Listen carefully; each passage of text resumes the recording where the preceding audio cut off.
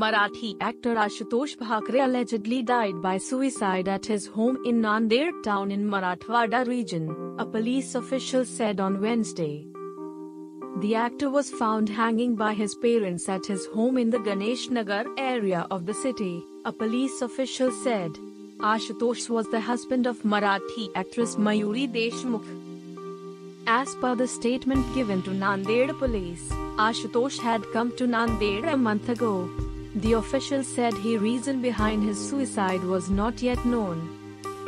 Ashutosh was reportedly suffering from depression for the last few days and had recently shared a video on social media in which he analyzed why does a person thinks of dying by suicide, the official said.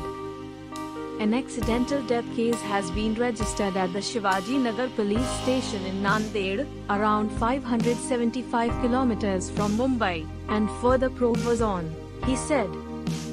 He had acted in Marathi films like Bhakar and Tharala Pakka. News Desk.